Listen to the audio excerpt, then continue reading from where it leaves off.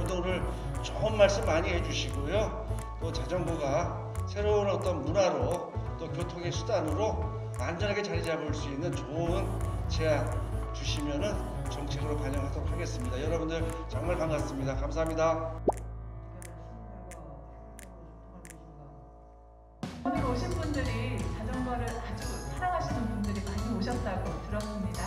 오늘 편안한 주제에 대해서 예, 편안하게 많은 이야기들이 나눠졌으면 좋겠습니다.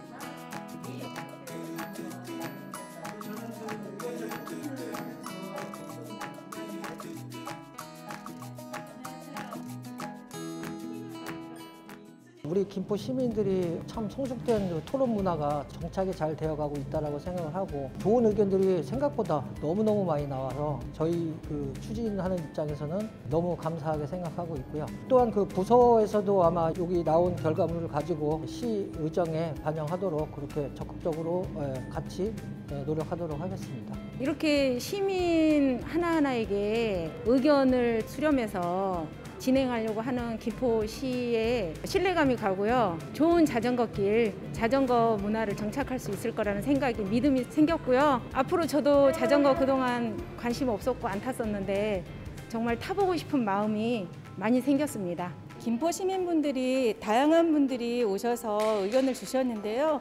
어, 생각보다 되게 구체적인 의견들이 많았고요. 자전거를 타다 보면 건강에는 좋지만 자전거 도로가 단절돼서 미흡한 부분이 많다고 하셨거든요. 그래서 그런 의견들을 종합해서 시에서 꼭 반영을 해주셨으면 좋겠다는 생각을 했고요.